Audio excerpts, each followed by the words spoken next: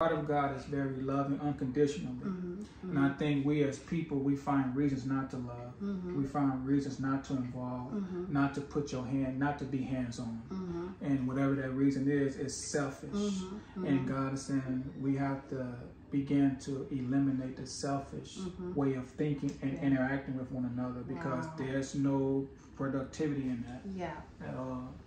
Are you familiar with any of the reform of the prison um, rules, uh, statutes, legislation, either there or here? Uh, Do you see any reformation that could be coming soon or that is practiced now where the quality of life for a lot of inmates in any region has been um, kind of upgraded to some degree?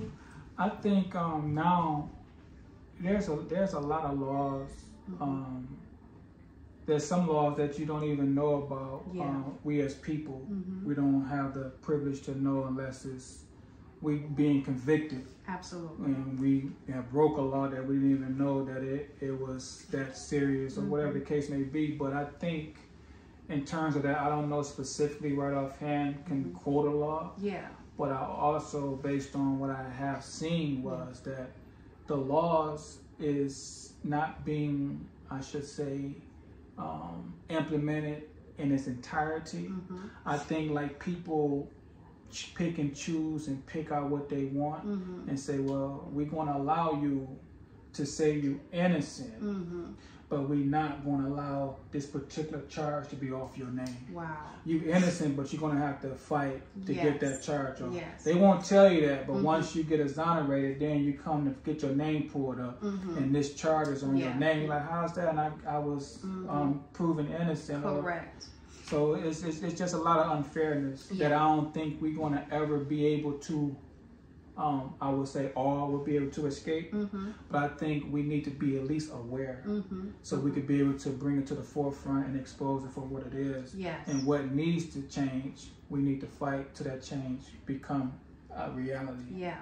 So do you think it's it's fighting a systematic way of paradigms Mm-hmm. or thinking or institutionalized slavery to some degree? Oh man, you said something right there. Because and, and I want to put this out. We're not attorneys. No, no, no. We're no, no, not, no, no. you know, in any type of a legal professions. This is based on our opinion. Mhm. This is based on our experience. This is based on culture, community, Absolutely. and, we're literature. sharing and literature. So we're just sharing that as well. I think um, if you look, if you uh, remember the Constitution when it says slavery has been ab- abolished except for the convicted felon. Yeah.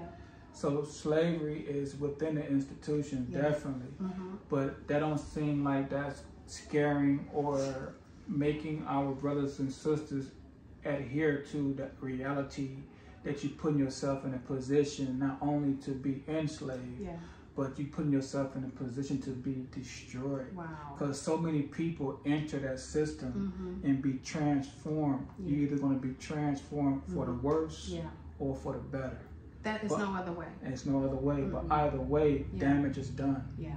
some Yeah. sort of damage and trauma has occurred Correct. that a lot of people don't get the chance or choose the chance to it to address Mm. once they exit. Mm. You know, and it's, I know a lot of brothers that has came out and went back in, hmm came out and went back in. Yeah. And I, I talked to um, some brothers that is, they seem more educated when they locked up opposed to when they out. Why is that? I think it's because it's just a um, not only a learned behavior, hmm but I think because they haven't developed hmm Discipline. not just discipline, but you know how we become adults, hmm and people say you're an adult based on age, hmm but it's not mature enough to, it's Mhm. not connecting. hmm So you, some people are forced to be their best, Yeah. and that's what they have trained themselves to be, Gotcha. forced to be Mhm. your best, Yeah. opposed to just when you get out here and you're free, Yeah. you just want to be your best willingly. Yes. But that's not the case for a lot of people. yeah. Mm. It, it's not their default go-to set Right. personality. Right. It's it's for show, for, Yes. for for reward, Yes, for credibility, absolutely. for performance.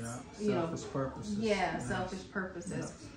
It is it's in and we this show can go in so many directions because we have so much Man, too much, too much, too much. so much to go off of but when we think about institutionalized slavery and and we think about um, relationships but before we start talking about relationships um, when joseph was incarcerated Mhm. and he went through uh, a myriad of experience Yes. in jail Yes. but he still had a purpose Yes. He still had a purpose. Yes.